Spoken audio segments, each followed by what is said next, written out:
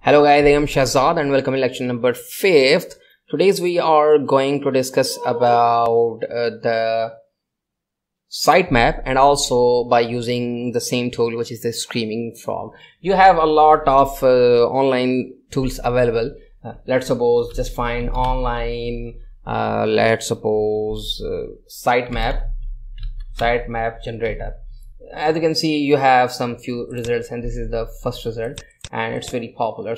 But you have some limits. Okay if you if, if i click on the digital sword uh, this is a website uh, it's saying the please wait uh, we are crawling crawling your websites. That means they are fetching the uh, informations from this particular website. So now as you can see they have scanned one one one. Okay now i'm saying i'm i'm, I'm going to create the sitemap for this particular website which is the digitalsword.com so digital sword is a services based websites. They are providing a lot of services like social media marketing digital marketing web designing development something like that.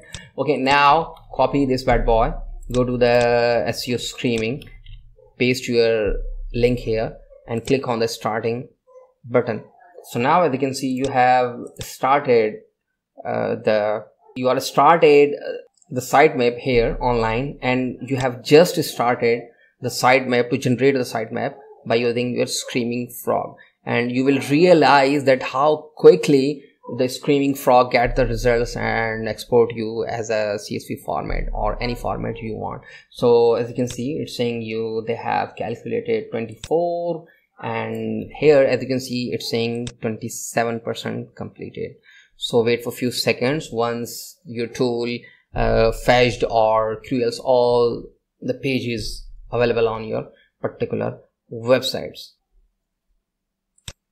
Okay so now as you can see they are saying they have completed the results. And now as you can see we also going to complete the results. Or your tool is going to complete the results. It's showing you 99 percent.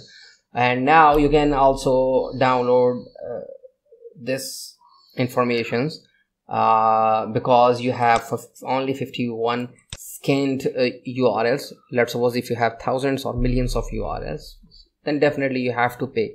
Uh, but for now we have also created the website. Now go to the site sitemap now if you want to download the xml sitemap or the image images sitemap it's totally depend upon you. So go to the xml sitemap now you have some few options included. No index pages. Include canonicalized or include paginations url include pdf so it's really depending. If i'm saying that uh, include non-index pages and okay last modified you, you you also have some other kind of uh, settings. But i'm saying included non-index pages or i'm going to export all the pages. Just next so now as you can see it's showing you the path. So you have to give the path where you want to download this information. So i'm saying this is the digital sword sitemap. Sitemap. Save this bad boy.